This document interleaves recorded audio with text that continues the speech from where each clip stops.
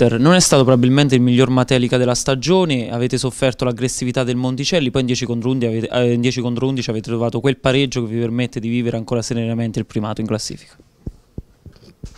No, no, no, non ho visto tutta questa aggressività del, del Monticelli, chiaramente il Matelica è una squadra che gioca a calcio a terra, in questo campo qui era impossibile, è un pareggio meritato, basta. Nel primo tempo c'è stato quell'errore del dischetto, avrebbe potuto cambiare l'inerzia del match chiaramente. Quello chiaramente è un errore che se si passa in vantaggio è un'altra gara.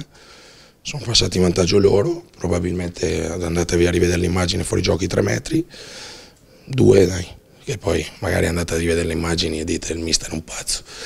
E basta, poi abbiamo sfiorato anche alla fine con Joe e qualche altra mischia abbiamo sfiorato, ma va bene il pareggio dai.